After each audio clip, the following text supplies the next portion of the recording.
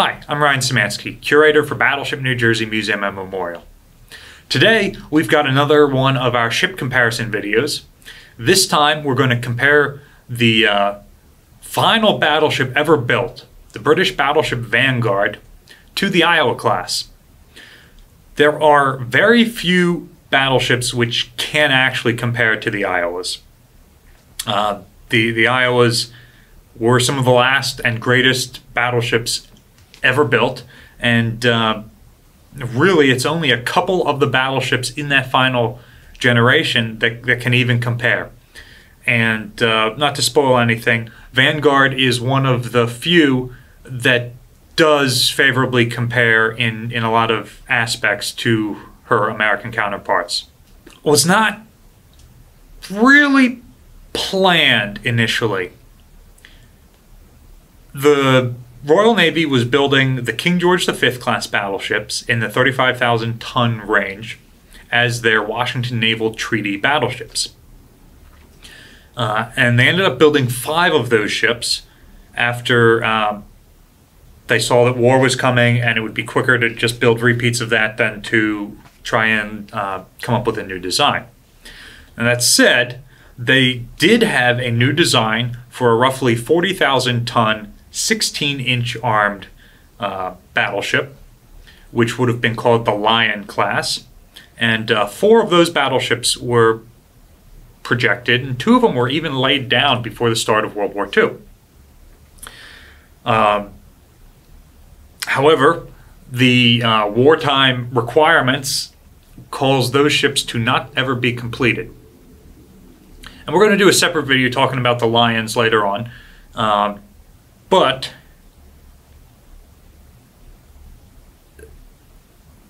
the Lions 16 inch guns, which was a, a brand new uh, turret and barrel design for the Royal Navy. They had 16 inch guns on Nelson and Rodney, but uh, those mountings had been finicky. Uh, they, they, tried to use a lot of lightweight aluminums and stuff to bring them in under the, the weight requirements of the Washington Naval Treaty. So they wanted to develop a whole new system, and that was going to take time. So uh, in 1940, they started to look at uh, the wars going on. We've got uh, three ships in our battle cruiser squadron Repulse, Renown, and Hood. Uh, and the battle cruiser squadron is less a force of battle cruisers, more just the fast wing of the home fleet.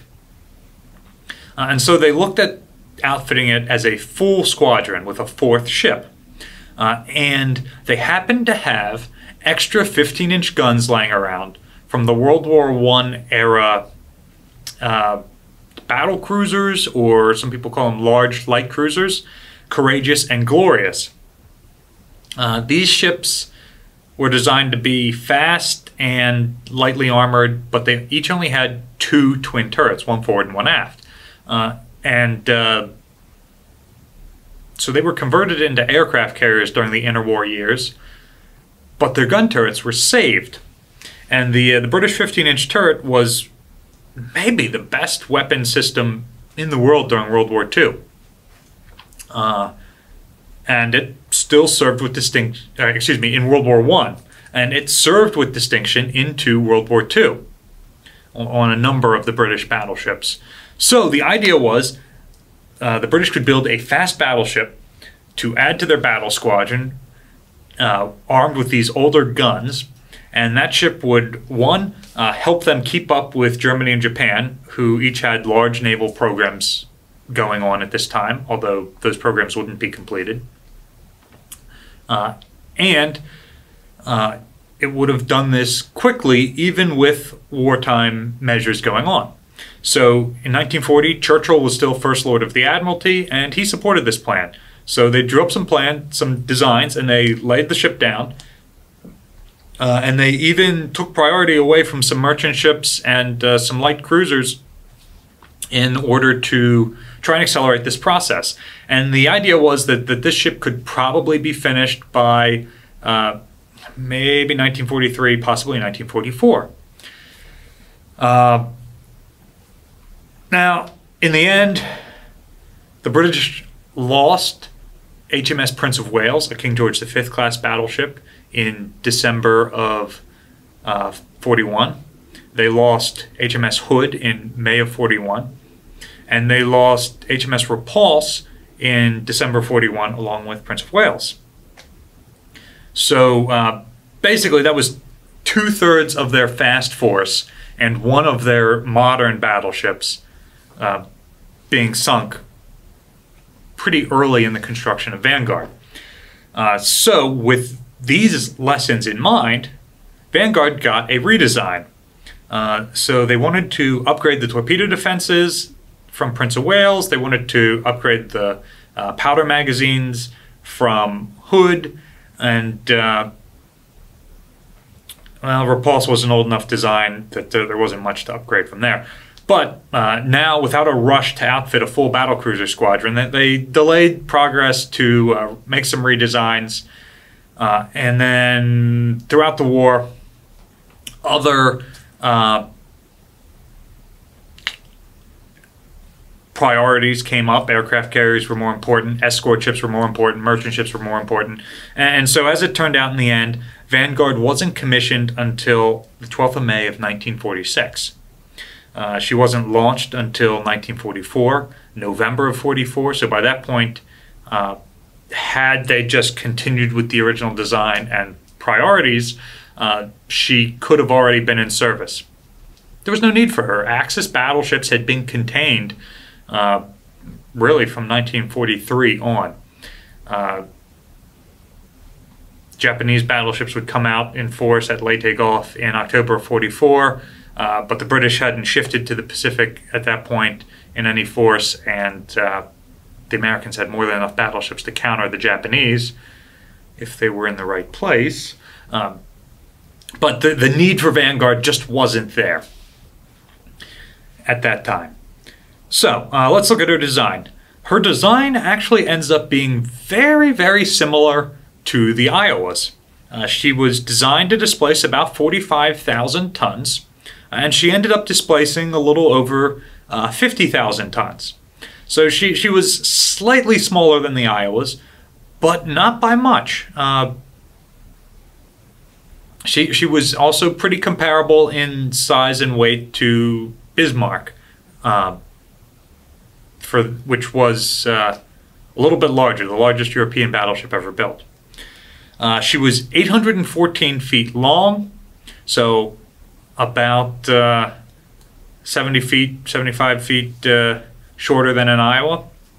She was 108 feet wide, same same beam, and she drew 36 feet of water. An Iowa draws 38 feet of water.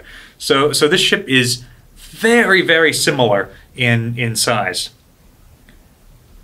An interesting difference: uh, Vanguard was only designed to make 30 knots. She was even able to exceed this uh, and hit about 31 and a half knots on builder's trials. She did this with only 130,000 shaft horsepower. The Iowas, in order to touch 33 knots, had 212,000 shaft horsepower. So uh, a massively larger uh, propulsive plant, or not larger as it turns out, a massively more powerful propulsive plant. Vanguard, just like the Iowas, had eight boilers. Uh, just like the Iowas, she had them in four boiler rooms. And just like the Iowas, she had them alternating boiler room, engine room, boiler room, engine room, uh, all the way through the plant. She had four propellers, uh, same deal. So um, the, the major difference was Vanguard was heating her boiler feed water to about 700 degrees and uh, about 350 pounds of pressure. The Iowa's steam was at 600 pounds of pressure and had been heated to about 850 degrees. So uh, the, the Iowas were getting more out of their steam to get a higher horsepower. Uh, but even though their horsepower was massively higher, their speed was uh, really only three knots faster at best. Uh, the Iowas do have a much greater range. Vanguard's range was 800, uh, excuse me, 8,750 nautical miles, so a little bit more than earlier battleships. Uh, in fact, after the hunt for the Bismarck, where uh, Rodney and uh, King George V were really low on fuel and other British ships had had to drop out of the pursuit, they uh, increased her oil bunkerage in order to uh, try and prevent something like that from happening again. Uh, British warships didn't have the same range as American warships because the Royal Navy had bases all over the world. Uh, the United States had uh, significantly longer range, ne- nearly twice as long, with uh, 15,000 nautical mile range for their ships because they could operate in the wide expanse of the Pacific where there weren't really forward bases to support the fleet uh, prior to the war when the ships were designed. Uh, in terms of armor plating, Vanguard's armor was pretty similar to the preceding King George V class, just like Iowa's armor was similar to the preceding South Dakota class.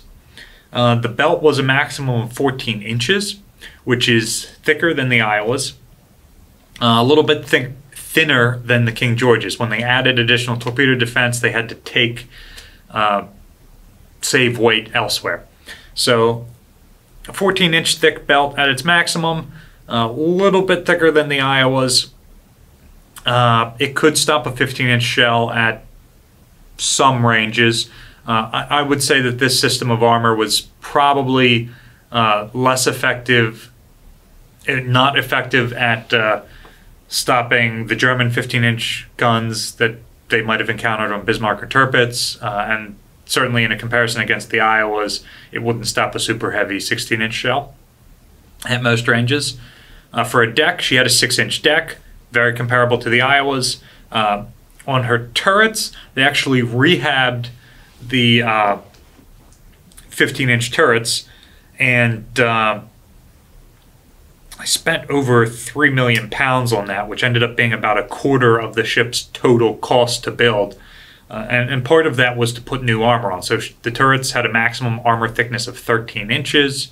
Uh, which again, it's pretty good against 15 inch guns. It, it won't stop much larger than that. Um, the the Iowas had 17 inches plus some additional layers for their thickest turret armor. Interestingly, the conning tower was only 3 inches thick at its maximum. The Iowas have a 17.3 inch conning tower. The British were the first to adopt the idea of uh, hey, the conning tower is a lot of weight, very high in the ship.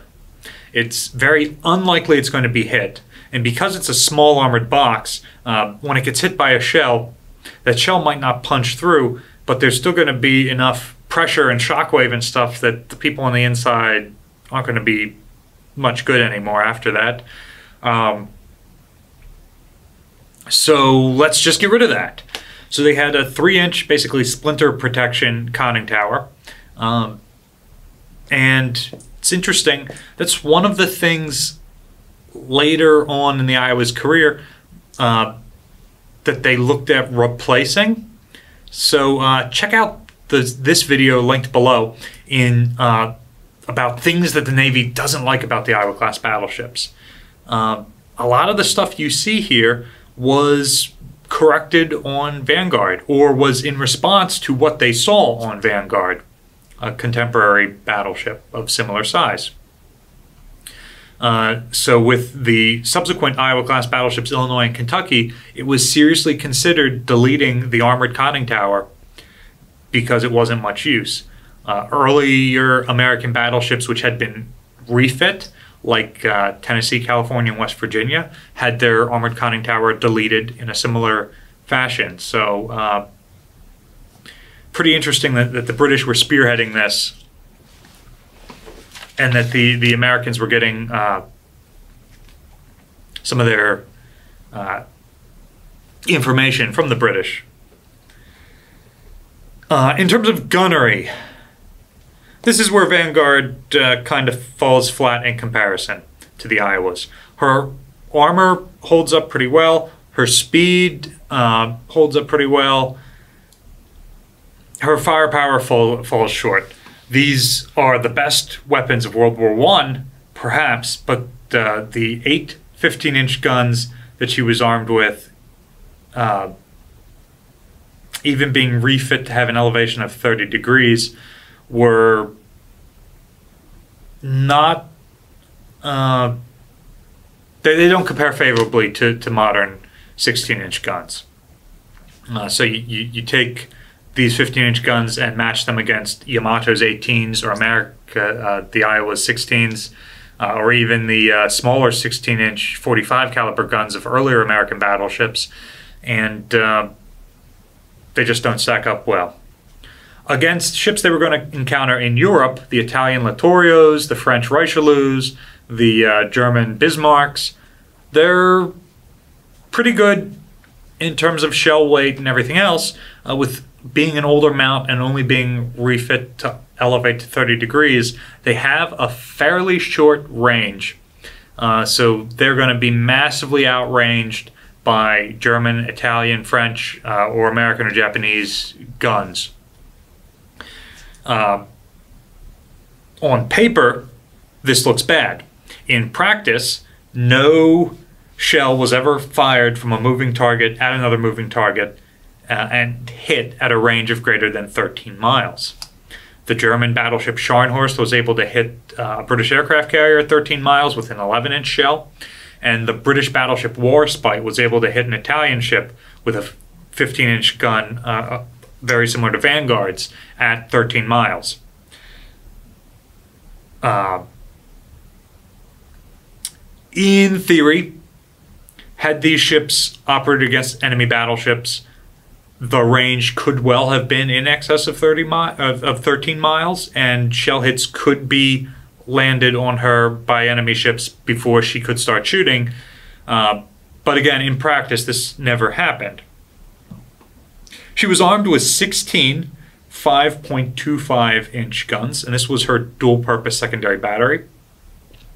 Uh, this fired an 80 pound projectile compared to the Americans, which used a five inch gun with a with 38 calibers. The uh, 5.25 was a 50 caliber weapon. Uh, in the older King George V class, this gun was really inferior. Uh, it was it had some good penetrating power against surface ships, but it was an inferior anti-aircraft gun. On Vanguard, these mountings were uh, able to be controlled directly from the gun director, and they were automatic. So uh, they theoretically had a pretty high rate of fire, much higher than the manually operated ones uh, on older ships, where, where you've got to lift that 80 pound projectile into the gun several times per minute. Uh, so the, the automatic rate of fire of these guns even matched the American 5 inch 38, which only was using a 55 pound shell that, that could be relatively easily manually loaded. Uh, there were only 16 of them compared to the 20 on the Iowas. Uh, so again, against surface targets, the uh, the Vanguard probably had the advantage. Against aerial targets, the Iowas had a slight advantage. Uh, this gun, as it was on Vanguard, was vastly superior to anything the Japanese, Germans, or Italians fielded in an anti aircraft or dual purpose role. So, again, against likely peer competitors, it was pretty good. She was armed with 73 40 millimeter guns. Uh, and these guns also had their own directors similar to uh, the Iowa class. Uh, the Iowas had 80 40 millimeter guns, uh, with the exception of Iowa herself, who only had 76. So Vanguard comes close, uh, and in wartime, she may well have carried more mountings than she actually did. So I, would call the uh, the anti-aircraft battery a wash between the two ships. She was designed to carry 20 millimeter guns, but was never outfitted with any. Uh, the Iowas started out with 20 millimeter guns, and in 1950 had them removed. So uh, Vanguard likely didn't lose anything by not having hers attached. Uh, and, and they, again, in, in wartime, they could have easily been added back on. So I still consider that a wash. Um,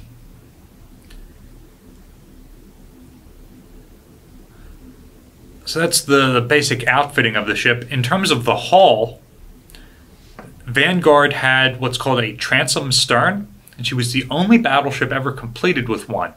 Means instead of like the Iowas or other battleships where the stern comes back and is rounded, uh, Vanguard's stern was just flat. Uh, and this was really good for steel ships for hydrodynamic efficiency. Uh, overly long history lesson sailing ships started off with flat sterns. And uh, this was just a simple way to build them, and it was a weak point in their design. It was less effective at supporting the deck overhead, uh, couldn't mount many guns back aft, and if an enemy ship fired uh, into your stern, you didn't really have any protection. It just shots just went the full length of the ship. Uh, by the mid 1800s, uh, the squared off stern had been replaced with an elliptical stern. And this round stern uh, was able to support more weight, uh, so it was able to better support the deck. It provided angles that would cause enemy projectiles to bounce off potentially, and it was able to support more weight of guns. So some of the first pivot guns were able to be mounted on the stern, and these these are the predecessors to turreted guns in that rather than having multiple guns along the back of the ship facing at different angles, you have one gun there that can pivot on rails from one side to the other. Uh, so this round stern is basically maintained through early steel hulled construction all the way up through World War II. Uh, by World War II, many smaller ships uh, have started to get a squared off stern, and it's found to be much more hydrodynamically efficient because the water, which is being cut by the bow and then running across the whole length of the ship, expects to continue to go uh, all the way to a point with the stern. When you cut that stern off, the water goes around, uh, and then all of a sudden, the end of the ship happens before the water thinks it will. So rather than sliding through like this, it slides through and actually pushes forward a little bit and gives the ship a little bit more uh, efficiency. So again, Vanguard was the first and only battleship built like this, although the Lions had been designed like this, and some earlier uh, British designs featured this as well, such as N3 and G3. Uh, nowadays, practically every warship is built like this. Uh, American Arleigh Burke class destroyers still under construction do that. Uh, American supercarriers like the Gerald R. Ford or the Nimitz class all have this. Um, it's real great because it gives helicopter landing pads that are nice and squared off for the destroyers. Uh, for the Gator freighters, it gives a nice big back uh, door area for a well deck. Um, and with steel, you're not worried about the structural support so much as you were with wood. You, you, you can uh, accommodate for that. So that's the stern of the ship, pretty effective. The bow of Vanguard was also very effective. With the King George V's and earlier battleships for that matter, uh, and even early drafts of Vanguard, the British, for some reason, wanted their A turret, their forwardmost turret, to be able to fire at zero degrees elevation over the bow, which meant that the bow had to be more or less flushed. It couldn't have a curve up which meant that their ships were going to ship a lot of water over the bow. They were going to be wet. Um, this is especially exacerbated in the North Sea around the, the British Islands, where it's pretty stormy and, and wavy, so you do tend to get a lot of waves. Uh, and so during World War II, you start to see the ranges are increasing, and at these increased range, it's likely that the ships will be able to choose what angle they're going to be on when they're facing an enemy. So they probably aren't going to be at point blank range head on to an enemy warship. Uh, so you start to see German ships get a really raked bow. You start to see uh, Japanese ships get a really flared bow. Uh, American ships like the Iowas get a really angled bow to be able to shed water. Uh, So, like I said, early designs of Vanguard still maintained, like the King George V's, that they could fire forward over the bow. But by the time she was built, they had decided, uh, yes, they could flare, flare the bow out and they could angle it up. And this made Vanguard a tremendously good sea boat, uh, especially when you compare it to the Iowas. The Iowas have this real narrow forward hull form, which exists to help make the ships as hydrodynamically efficient as possible so that they can be fast moving through the water. Uh, Vanguard is designed less with hydrodynamic efficiency in mind and more uh, with seakeeping in mind. So she will roll less, and this means that she can fire her guns more effectively in heavier seas. Um, so if Vanguard had have been going for the same speed as Iowa, she would have been longer, probably. And they could have done it with the weight that they had. Uh, after looking at the Iowas, or excuse me, after looking at the Vanguards, after looking at HMS Vanguard, the U.S. Navy determined that if they were to cut off the forward 75 feet of the Iowas and put on a Vanguard style bow, they would only lose three quarters of a knot of speed, which essentially takes them from 33 knots to 32 and some change. Uh, and they would be just as effective as seaboats as Vanguard that would have been a pretty reasonable trade off, in my opinion. Uh, it was never done to the Iowas. By that point, the four that were built were already built. Uh, Illinois and Kentucky were never completed, and uh, a number of uh, at least one or two suggestions came up during their design process to cut off a couple of feet from the bow and uh, widen them. It also means that uh, not narrowing as much as they do, there could be more torpedo defense around turret one, which is a real a real weak point in the underwater protection of the Iowas. Uh, so again, if you look at the uh, video in the description below about uh, things the Navy didn't like about Iowa class battleships, the, the length of the bow comes up. Uh, and at high speeds and in uh, heavy weather, the bow does vibrate a lot. The, the forward armored bulkhead is just forward of turret number uh, one, and the more lightly built steel ahead of that, especially because it's getting real narrow, uh, does tend to to uh, vibrate. This was really exacerbated in 1953. Iowa and Vanguard both operated together in a NATO exercise called Operation Mariner. Uh, and this exercise was happening up in the North Sea, and it happened to happen during a hurricane. So the hurricane prevented a lot of the exercise from going on, but it did force Vanguard and Iowa, uh, along with carriers and smaller ships, to operate in extremely heavy seas. And the result was that uh, the Iowas rolled significantly more than Vanguard, making them uh, far less effective gun boats in this kind of weather. Uh, and the Iowas had to slow down in order to not damage their bows going through the waves. Uh, and Vanguard was the best seakeeping vessel in the entire operation.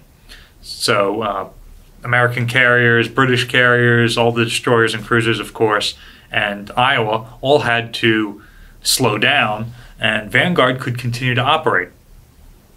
Uh, she did take damage. There were boats that were destroyed. There, there were things that happened. This stuff happens in hurricanes. Um, Iowas and other ships took damage, but um, really, really good rough weather capabilities on these ships, and, and that is something to be envied. Um, not being able to fire your guns in weather like that, odds are if you're having that kind of trouble, you're not going to run into an enemy ship and get into a gunfight. But um, in terms of crew comfort, only rolling 20 or 30 degrees in a heavy, extremely heavy storm like that, which uh, was said to have caused the Iowa to roll as far as 50 or more degrees. Uh, that's th- that's something uh, that's worth emulating. ultimately, uh, Vanguard, like I said, she was the last battleship ever built. She had a relatively short career. Uh, she was used essentially as the royal yacht to take King George and the royal family, uh, King George VI, and the royal family to South Africa, the first royal visit there by a sitting king. She was the first ship that uh, Queen Elizabeth II ever christened, also. Um, that's unrelated. So, shortly after being built, they went in and they retrofitted Vanguard. Uh, they gutted the admiral's quarters and set it up for the royal family instead. And they removed uh, the 40 millimeter guns from on top of B turret and replaced it with a, a viewing platform. Uh, and so Vanguard was used as a royal yacht there for the South Africa trip. She came back. Uh, she was refit again to be to serve as the flagship, and basically wherever she was assigned, the Mediterranean, the home fleet, the reserve fleet, she was the largest vessel, and she served as the flagship.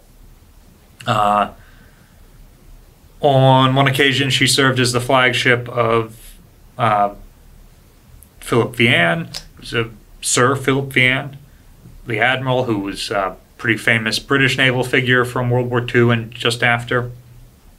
Uh, served as flagship wherever she went. Basically, uh, went in and out of refits every couple of years. They would uh, update her to take on the royal family, and then update her again to be a flagship, and go back and forth with this. Uh, King George VI, failing health, prevented him from using uh, Vanguard as a royal yacht again. But a number of trips were planned, and the ship was getting ready for them before they were canceled. Uh, she went in for a refit in 1955, uh, and she was going to be used to counter the, the large Soviet cruisers, the Sverdlov class, that were uh, around at that time. And then Churchill left power, and the uh, it was decided to just keep two cruisers for much cheaper than continuing to operate Vanguard. So Vanguard became the flagship of the reserve fleet for five years, and then in 1960, she was sold to be scrapped. Uh, and while she was being towed out of the basin, she broke free, and it took a couple hours to, and five tugboats to get her back under control. Uh, but she was finally taken to the scrapper, and by 1962, she was gone.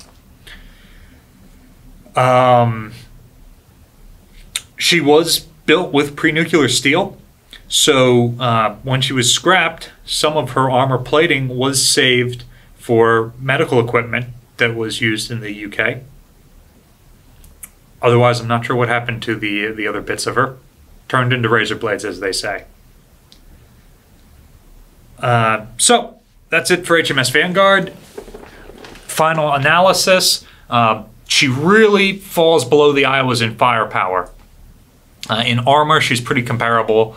In uh, speed, she falls a little bit below, but that is in order to give her better seakeeping, which is pretty good. So, all in all, I prefer the Iowas over the Vanguards, and I think in a fight, one Iowa versus one Vanguard, uh, the Iowas with their superior gun range uh, and heavier shells would be able to defeat the Vanguard's armor uh, and probably do significant damage before Vanguard can land hits on the Iowas. Uh, Iowa's armor might be able to stop the 15 inch shell, and uh, Vanguard's armor just really can't stop Iowa's. But uh, pretty effective ship otherwise. I would take Vanguard over any other European battleship uh, that were ever built. Thanks for watching. If you guys have any questions or comments about Vanguard, leave them in the uh, comment section down below. We'll get back to you as soon as we can. If there's a ship you would like to see compared, let us know in the comment section. Uh, if you would like to support our YouTube channel and the museum here, check the link in the description below. It's got some other videos that are related to this you can watch, and uh, it's got a link to a GoFundMe campaign that we're using to raise money to support this channel. Uh, I appreciate any donation you can make. Also, we are committed to putting out multiple pieces of content every week. So remember to like, share, and subscribe so you get notified when we're putting out new videos. Thanks for watching. I'll see you next time.